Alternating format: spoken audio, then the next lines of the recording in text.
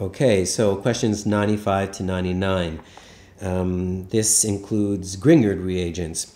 Um, and of course, uh, hopefully, as soon as you hear Grignard reagents, it gives you this, this feeling of uh, MGBR um, and the fact that Grignard reagents and also alkyl lithiums like this they do the same thing they generate delta negative carbons. It's very it's not something you need to memorize or perhaps you, you might want to but it's um, if lithium's in the first group in the periodic table it's more to the left in the periodic table than carbon. So that means it's more electropositive than carbon and that means it makes carbon to be electronegative. Magnesium bromine it does the same thing that lithium does. Mag lithium has a oxidation number of plus one Magnesium has an oxidation number of plus 2, bromide minus 1.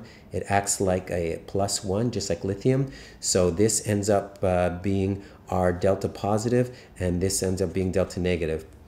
The magic of Grignard reagents and alkyllithiums is because they generate delta negative carbons, and because we usually see carbon being, being delta positive, uh, usually carbon is attached to something more electronegative what the magic of this is that it can make carbon-carbon bonds because opposites attract and carbon's usually delta positive. Um, that's uh, what we're expecting. We're expecting the creation of carbon-carbon bonds. So uh, they show figure one and, um, and they show you the, uh, their alcohol which is at the end of figure one and it looks something like this Okay, and so they have R prime, R and R double prime, and these are just labels, just like green, red, and blue, or any kind of label, just to be able to follow things during the reaction to know what ends up where. And so um, the question is, a secondary alcohol is produced by reacting a Grignard reagent. Well, if this was a secondary alcohol, then uh, one of these things has to be hydrogen because um, a primary alcohol is when you have one carbon attached to the alcohol group. A secondary alcohol is when you have two, and a tertiary alcohol is when you have three. So um, this is a secondary alcohol if one of these is hydrogen. Now, which one could be hydrogen? I know that R cannot be hydrogen. R has to be a alkyl group because we, we start the reaction, step one is with Rx, and that's step one. Now, if R was hydrogen, this would not be a Grignard reagent, this would be an acid, and the acid would dissociate, and we would not get magnesium adding and, and, uh, and attacks and so on. So uh, R has to be an alkyl group because this is a Grignard reagent uh, that is being created and, uh, and reacted. So I know that R is going to be carbon. So it's going to be R prime or R double prime, which is going to be uh, hydrogen. So what is R prime and R double prime? We look at the molecule that has R prime and R, R double prime, which is this. And so if R and R were carbons, then this would be a ketone.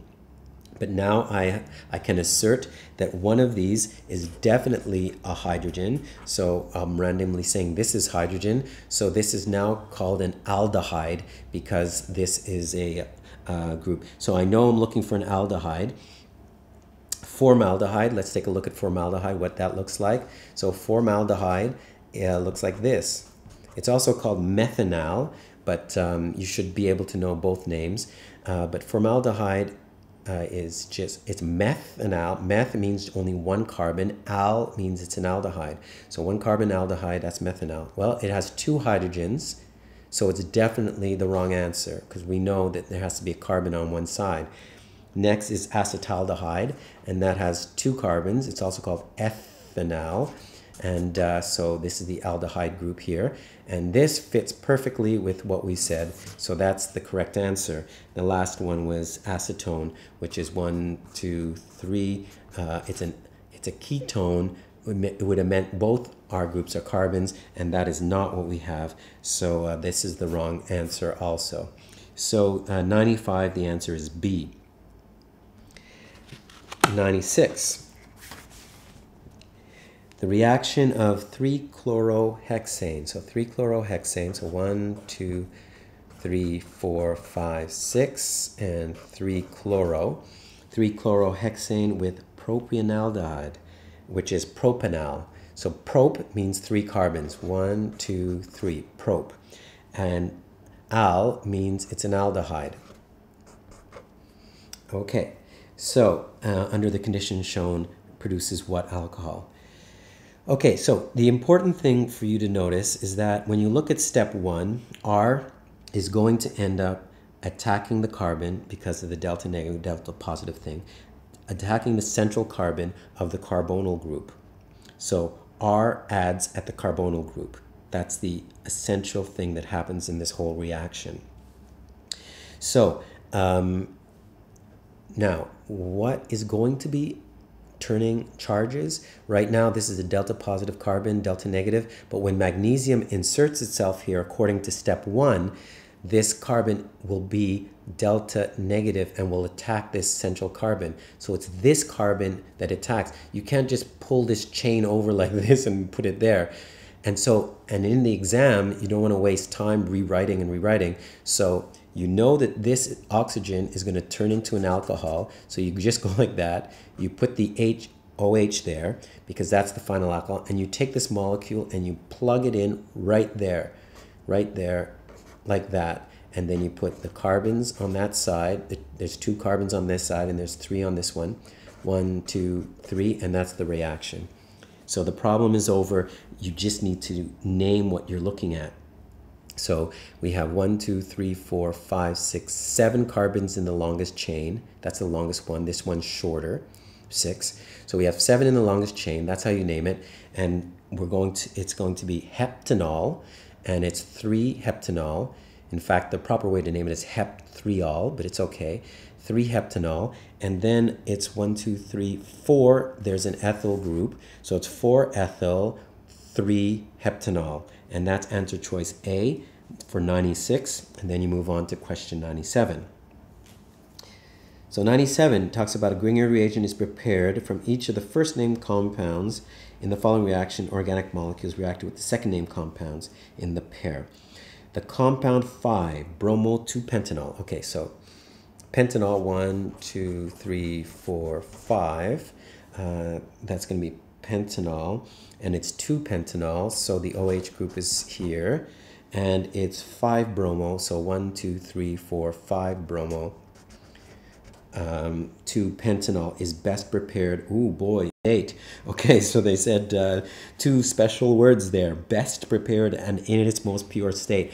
That is uh, a sign that there's probably uh, more than one correct answer in terms of ways to prepare it, but one is the best.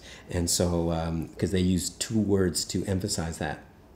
Okay, so they have uh, methyl brom. Well, you know, you can tell there's uh, two answers that are going to be a little bit suspicious. Okay, and um, and that's because uh, answers uh, B and D have only one bromine, and that one bromine is um, in the original reacting uh, compound. But if you look at Rx in the reaction, that um, doesn't end up uh, with the bromine. So, because that bromine is going to be lost, that uh, halide. But it's okay. We're going to look at the reactions anyway. So, um, so A has methyl bromide. So we have meth methyl bromide here and uh, 4-bromobutanol. So butanol is one, two, three, four is butanol. And we have four bromo. Okay, so um, this is going to end up after being coming a Grignard reagent. This will end up being delta negative. Then it will hit this carbon, knock up the electrons. This would be OH over here. This would have the carbon uh, bonded in here. And uh, this would be our compound and one, two, three, four, five. This matches this exactly. One on the second hydroxy, second hydroxy, and then bromine way at the end. Okay, so that matches it. Uh, A is looking uh, pretty good so far. The next one is 2 bromopropane. So one, two, three, 2 bromopropane, and it's adding to ethanal. One, two. Uh, there's ethanal. So um, this is going to end up being delta negative at a point, hit this carbon, knock these electrons up. That will be the OH group. One, two, three, and it adds in like this. No bromine. That's what I was trying to explain before. So this is not matching what our, our compound is. Uh, looking at C, uh, we'll end up with the same problem. One, two, three, four, and um, one bromo uh, butane. So the bromine is over here. We have formaldehyde, which is methanal, um, which is uh, just this. And so this is going to end up being delta negative. Hit this, going to be carbon here, carbon, carbon, carbon. And then this is going to be an OH. So um, again, there's no bromine here, doesn't match our compound. Then we try the last one, which is one, two, three, one, three dibromopropane. So one and at three position dibromopropane and uh, acetaldehyde ethanal, which is um, uh, like this. F ethanal, and so I know that uh, one of these will be uh, become delta negative, da da da da, and um, have a nucleophilic attack here, and this will be OH, and then we'll end up with a carbon here, and I'm just going to flip it on over to the other side, carbon, carbon, and uh, bromine. Now I check with the original compound, one, two, one, two, hydroxy, and then bromide right here at the end, one, two, three, four, five carbons. So it's exactly the same. So we have two answers, A and D, that make the final compound, and now we have to just take a little closer look at what's going on. So um, that came in here very nicely, no problem. It wouldn't matter if it was the other carbon uh, that uh, became delta negative and came in and reacted, no problem. So now let's look at A a little closer. CH3Br, and this is going to end up being a delta negative uh, carbon, and it came in here and attacked the central carbon, knocked up the electrons. Great. But wait, over here, there's a there's a carbon which is also delta positive because of the delta negative electronegative bromine pulling electrons to itself. It means that when this becomes a Grignard reagent with the magnesium in there, and when this becomes delta negative as a result of that, it has a choice to attack uh, this carbon or to attack this carbon. And then it would be a completely different product if it attacks this carbon. You wouldn't get the alcohol at all. Hmm. That wasn't easy to say. But anyway, so uh, the point is, is that here you're going to have side products, but uh, with answer choice D, you get the pure uh, and the best answer.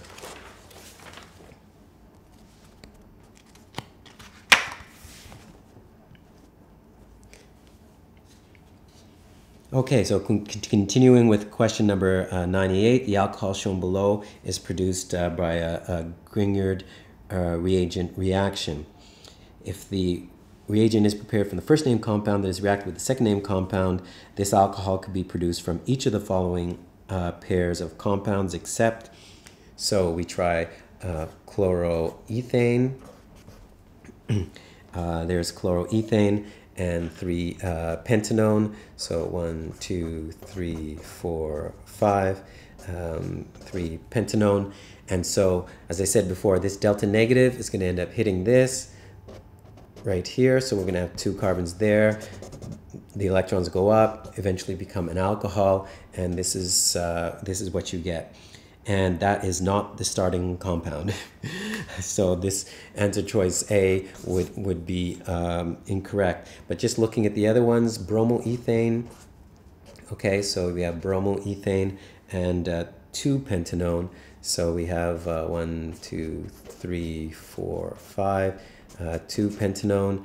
This comes in, bang, right there, two carbons, the electrons go up, and uh, hey, that looks uh, like what we have. And then the other one is um, bromomethane, okay, so just uh, bromomethane uh, with three hexanone. So uh, one, two, three, four, five, six, and three hexanone and so this comes in and we get our carbon here this this OH goes up, and again, that looks exactly like a starting compound. And then we have one chloro uh, propane and two butanone, one, two, three, four, two uh, butanone. So we have this come in, hit this, knock that up for the electrons. Then we have one, two, three carbons over here. And again, that looks like the starting compound. So indeed, 98, uh, the correct answer is A.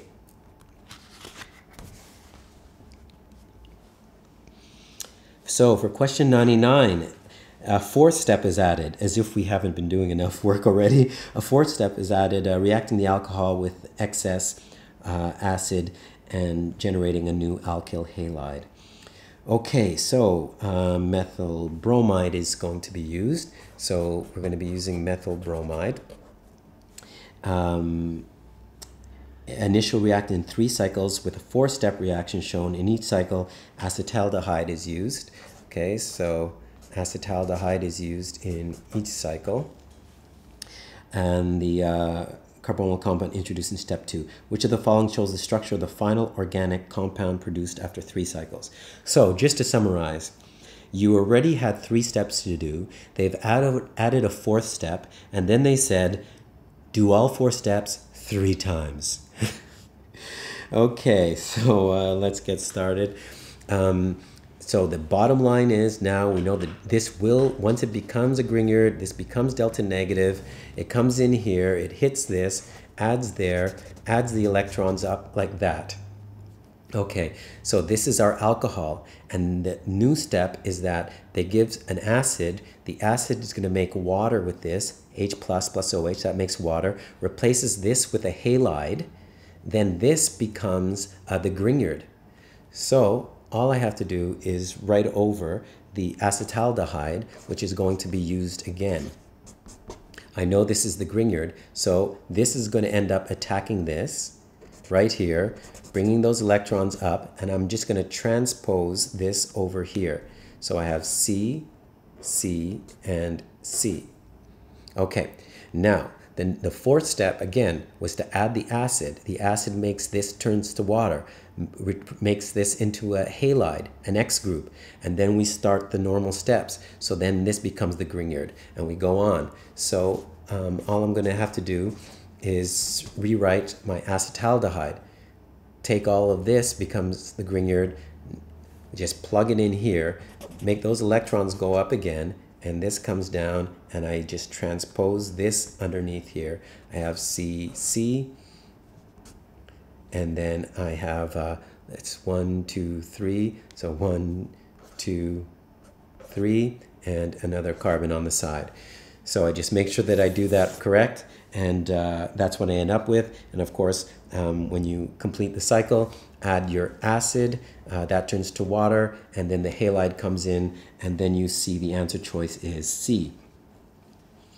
So, if you had any uh, difficulties uh, with um, with uh, some of the ground rules for uh, organic uh, reactions, you should you know go to Orga 1.6, and then um, you know to look at some Grignards or some other types of reactions that are that are common.